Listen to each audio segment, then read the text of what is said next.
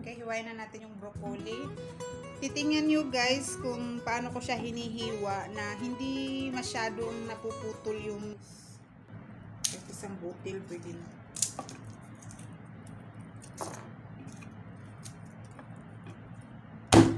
Sana maliliit.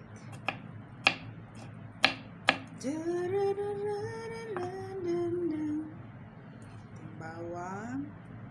Tapos ang ating kamatis.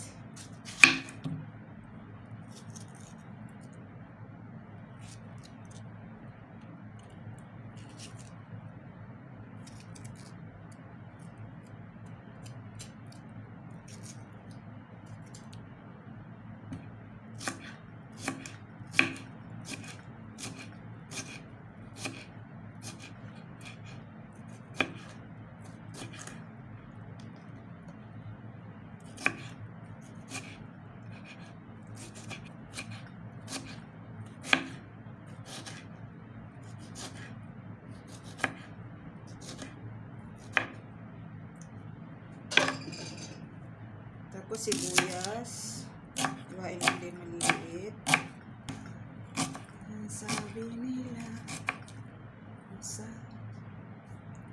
Okay guys, ito na. Tapos magpakulo lang ako ng tubig para ito ba siya. Okay guys, nagpakulo na ako ng tubig para sa ating broccoli. Ayan na guys, nakulo na ang ating tubig. Ilagay ko na yung ating broccoli.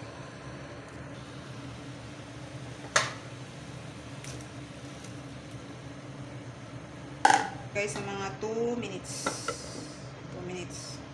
Okay 2 minutes na. Ipatay na natin ang ating ampul okay okay. Ayan na siya guys. Tapos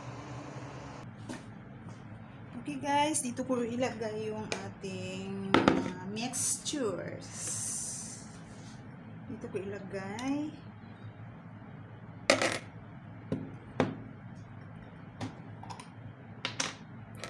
Lagyan natin ng suka. Mga dalawang kutsara lang. Ang bango ng suka. Tapos lagyan ko siya ng konting asin. Mga siguro mga one, ganyan lang asin. Hindi masyadong maraming asin. Tapos, konting paminta. Ganyan lang din. Mga half teaspoon lang din paminta. Ayan. Tapos ilagay natin ang ating luya. Tsaka bawang.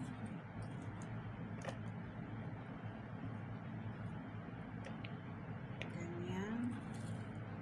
Tapos sibuyas.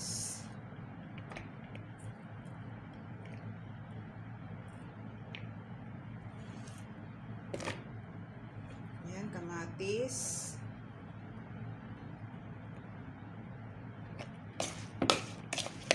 tapos mix yan. Tapos lagyan siya ng kunting sugar. Sugar din, mga 1 teaspoon. Yan, mga 1 teaspoon sugar. Tapos mix.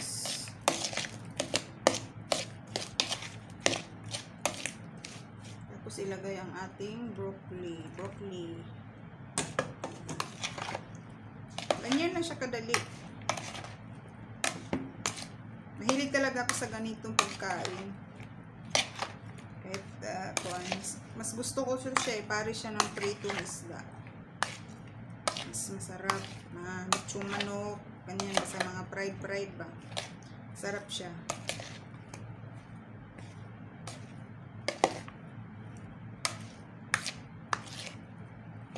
Okay, tapos na siya. Ganyan lang kadali.